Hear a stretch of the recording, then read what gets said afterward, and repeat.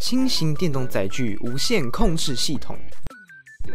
在当今社会，交通运输是人们生活中不可缺少的一部分。人们对于交通运输的需求量也越来越大。本系统为交通运输提供个不一样的全新概念，同时在传统汽机车或脚踏车的共享载具之外，提供一个其他的选择。电路配置。电路配置主要分成 GPS 系统和 WiFi 连接系统两个大部分。整个电路由外接电瓶供电，并且隐藏在车身原板件中，外观上并无跟动。首先，GPS 的部分，我们采用了 Neo 6M 这个模组，再搭配 ESP8266 Node MCU 开发版。这个组合有大量的网络资料和文献，使我们在整合手机软体时有充足的资源可以参考。再来是 WiFi 连接系统的部分，这个系统身兼钥匙开关的作用，避免使用上安全的问题及保护元件的考虑，我们使用了较为保守的配线。城市设计，GPS 系统，由于 App Inventor 设计上的限制，使得要读取定位资料的方式有限。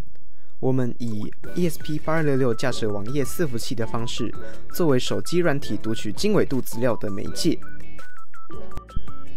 WiFi 系统，手机与 Arduino 硬体连接的方式有很多种，例如蓝牙以及 WiFi 等等。考虑到蓝牙连接的方式有安全性的疑虑，我们采用了保密程度相对高一些的 WiFi 作为连接管道。连接成功后，我们以 Node MCU 本身的脚位做高低电位的输出控制，以达到取代钥匙开关的效果。手机软体，我们使用 App Inventor 制作手机和车辆交流的软体，其中包括了验证码界面，这是一个身份验证的雏形概念，以及车辆的定位系统。GPS 模组所接收到的经纬度数据将会转换成地图位置，显示在使用者的手机上。还有最后是取代传统钥匙的开关系统，红火以及熄火的动作只需透过手机就可以完成，省去钥匙的麻烦。实际作动，以下是实际作动示意影片。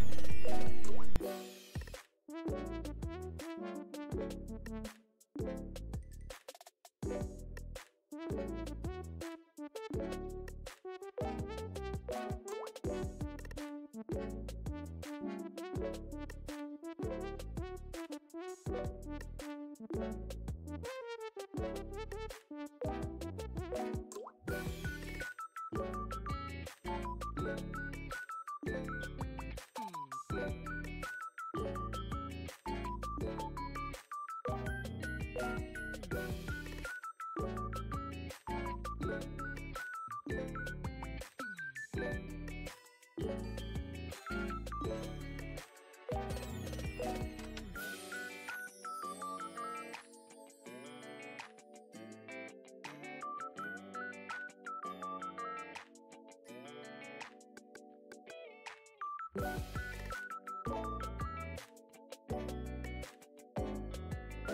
轻型电动载具无线控制系统是一个有前景和发展空间的项目。在当前城市交通拥塞和环保问题日渐受到重视的情况下，这种方便、环保以及低成本的交通方式越来越受到青睐。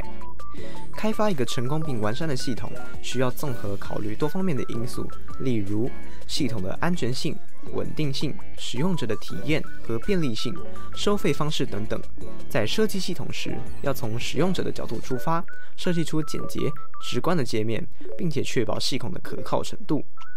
轻型电动载具无线控制系统是一个具有市场潜力的概念，虽然同时面临着许多挑战和风险，但在满足多方面因素的基础上，加上用心的设计和良好的运营，就能成功的创造出一个稳定、便捷的交通方式，为人们的生活带来改变。